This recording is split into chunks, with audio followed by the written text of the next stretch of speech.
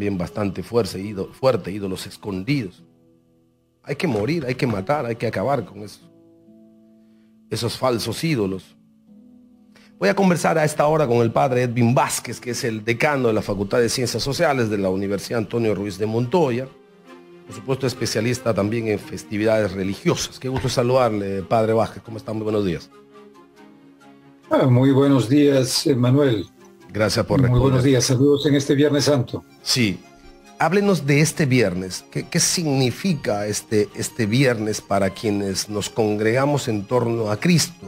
sin importar mucho la denominación. Eh, ¿Qué debe significar? ¿Qué significa? ¿Qué implica en nuestra vida este viernes particularmente? Todos los viernes santos son para los cristianos en particular el momento culminante de la expresión del amor de Dios en la cruz de Jesús. ¿no? Usted tiene ahí a su lado, de fondo, la imagen de una cruz la cruz no es una decoración, es ante todo el recuerdo vivo de esa entrega de Jesús por nosotros, como diría eh, San Ignacio de Loyola, fundador de la congregación a la cual yo pertenezco, por mí, por mí.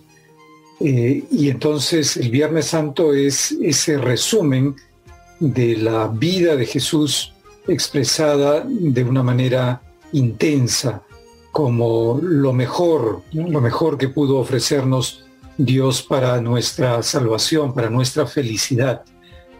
Este viernes en particular, pues para nosotros, eh, una mirada mundial, claro, tenemos la guerra en Ucrania, pero tenemos otros conflictos abiertos, ¿verdad? No debemos olvidarnos de Siria, de Yemen, eh, un millón y medio de desplazados en Congo, etcétera. Entonces un mundo ciertamente movido, convulsionado, pero también en casa tenemos nuestros propios problemas, sufrimientos, dolores, esta niña asesinada en el norte. Es como si no hubieran pasado dos mil años desde la muerte de Cristo. Justamente Cristo muere en la violencia de la cruz para que no haya más violencia. Mm. Ahora, usted acaba de decir una cosa que me parece eh, extraordinaria, pero igual muy, muy, muy, muy difícil probablemente de, entender, pero parece tan sencillo. Y, para los cristianos, quizá para los no cristianos esto sea, bueno, pues un mensaje no digerible o difícil de entender. Pero este país tiene, según estadísticas, más de 80 y pico por ciento del pueblo peruano es pueblo cristiano. Y de ahí un porcentaje muy, muy alto es pueblo católico pero Jesús murió en la cruz por mí. Y en ese mí hay que poner tu nombre y mi nombre. O sea, Jesús murió por Manuel. Jesús murió por Tania. Jesús murió por el Señor que nos está escuchando a usted y a mí hoy manejando un carro, un auto, el colectivo, el metropolitano, el tren, o viajando en el tren o en el metropolitano, o yendo a trabajar o el señor que acaba de salir hace un rato después de haber hecho unos panes tan extraordinarios y riquísimos para compartir en la mesa hoy, o el que está saliendo a vender el emoliente, o el que está saliendo a, playa, qué sé yo, eh, al, sur del Perú, o el que está yendo a yerbateros, por él. O sea, muy simple parece, o sea, maravillosamente simple, porque es además ese es el otro mensaje de Jesús siempre, ¿no? En lo simple está Dios. Murió por mí.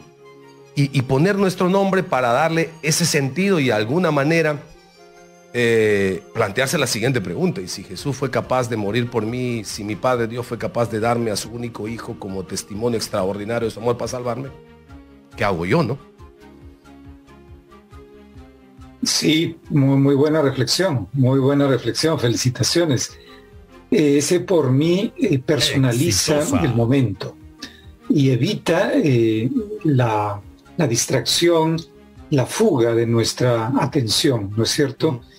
Eh, porque no puedo escabullirme de la mirada de Jesús. En todo caso, siguiendo esta reflexión del por mí, tendría que ponerme, levantar la vista y mirar a Jesús que me mira a mí y no eh, mirar a otro lado para evitar ese contacto con la mirada de Jesús que me interpela, no para acusarme.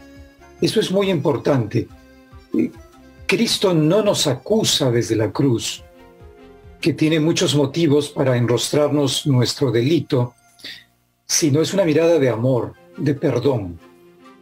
Y precisamente de esa mirada de perdón eh, brota en mí el deseo de conversión, de responder a ese amor con amor, es decir, con actos, con acciones, con una vida recta, con una vida eh, que esté a la altura de las circunstancias, ¿no? de, mm. tal eh, sacrificio por mí. Mm. Eh, creo que esa es una buena imagen para la Semana Santa. Sí, y, también ahora, en este viernes, que es, digo, el día, día de muerte, día negro, día de luto, ¿cómo haríamos para ir identificando los signos de muerte en nosotros?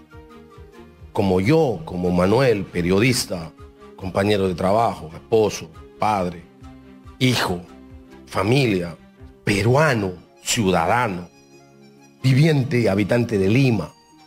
Usted ha dicho hoy una, nota que por supuesto está generando un impacto impresionante, que es un signo de muerte, pero que además ha generado un signo extraordinario de vida, que es lo que ha pasado con esta niña en Chiclayo. ¿Cómo, nos ayuda estas circunstancias a identificar los signos de muerte oscuros y negros que tenemos en el Perú para alumbrar con luces de resurrección? Tarea interesante, obligatoria de cristianos en nuestro país en las circunstancias en las que vivimos hoy, Padre. Sí, es una ocasión, el, Viernes Santo, sin duda que es un viernes de muerte, como, como bien se ha presentado, es ocasión para reflexionar sobre esos signos de muerte en nuestra sociedad. Eh, tal vez comenzando por, lo más íntimo, ¿no? Mi entorno inmediato, puedo encontrar allí signos de muerte o como quizá otros preferirían decir de, de ausencia de vida o de signos que combaten la vida que debería prevalecer. Y entonces mirando a mi alrededor, debo tal vez eh, ayudarme con algunas frases motivadoras eh, en, los movimientos matrimoniales, encuentros matrimoniales, REMA, estos programas de ayuda a los matrimonios, repiten esta frase, no ser luz de la calle y oscuridad de mi casa.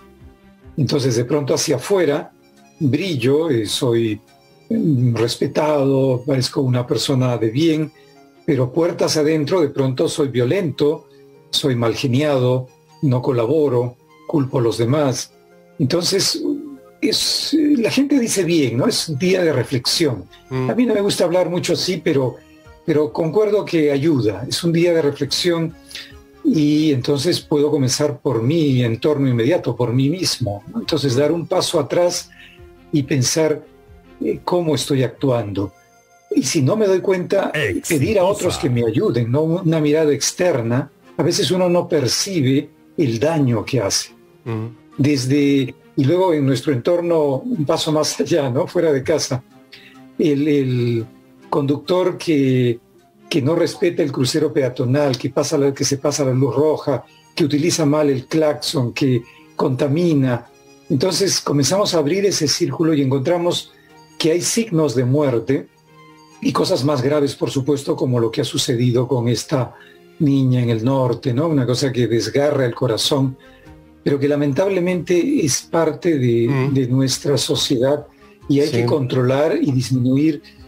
Claro, eso tendría que ser pues una cosa excepcional. Pasa en Alemania, pasa en Estados Unidos, en todo lado, porque lamentablemente es parte de nuestra condición humana esos desbordes, Puede ser una mm. persona enferma, puede ser una persona que no ha recibido una buena formación o una persona que de niña también sufrió una violación, ¿no? Y luego repite ese círculo vicioso de dolor, de violencia. Mm. Tenemos que quebrar ese círculo de violencia. Correcto. Eh, ¿Cuál sería en resumen el, el mensaje principal? la figura de Jesucristo y de su vida entre nosotros es tan extraordinaria y tan grande que la verdad es que a uno le desborda. Dice, que si yo quisiera sacar algo, lo esencial de, Jesús ahora, en su pasión, en su muerte, en su resurrección, tanta cosa que ha pasado, tanta cosa maravillosa que ha pasado, dice, ¿con qué me quedo? ¿Con qué se quedaría usted? ¿Cuál sería en, resumen de estos días, pero en general de la vida de Jesús, el,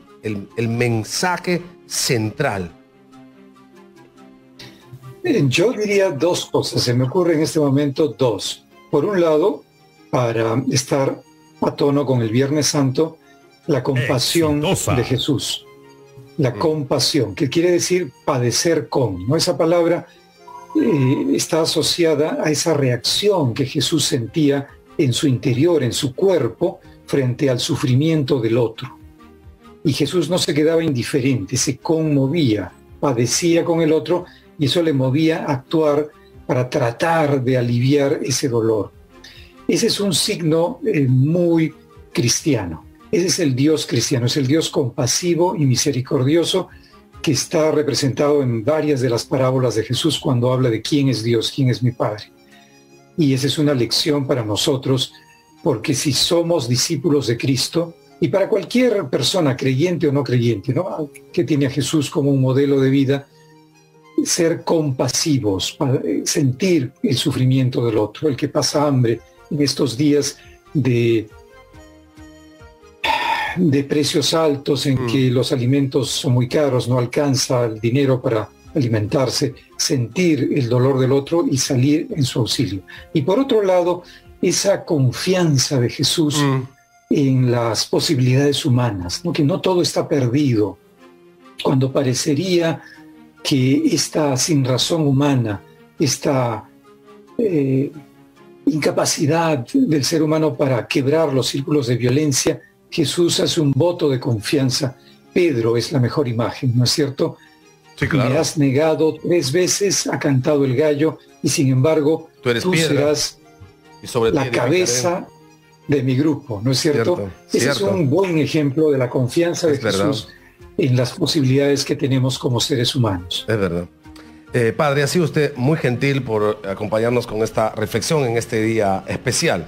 Muchísimas gracias y que tenga un, buen viernes y por supuesto de acompañamiento con este día y de vigilia en los próximos días y de alegría extraordinaria en el día del domingo de Pascua de Resurrección. Muchas gracias. Ha sido el padre Edwin Vázquez. Buen día, Gracias. El padre Edwin Vázquez, decano de la Facultad de Ciencias Sociales de la Universidad Antonio Ruiz de Montoya. Voy a entrar ahora a un tema que es tan, tan duro, pero que